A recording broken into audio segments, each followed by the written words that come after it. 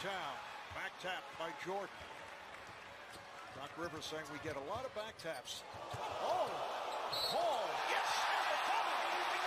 What a move by Chris Paul.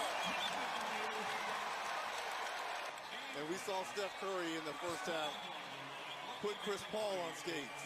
Well, whatever you can do, my friend, I can do You've better. Been around this league No, a long I- time. I don't think you could uh, really get away with that. and People wouldn't know what you were talking about. The back Just of the what jersey says Clay. So I'm going to call him Clay. Feel free. Clay you can get away with. That's not a, a common name.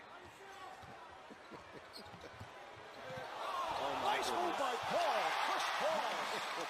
With one tenth of a second remaining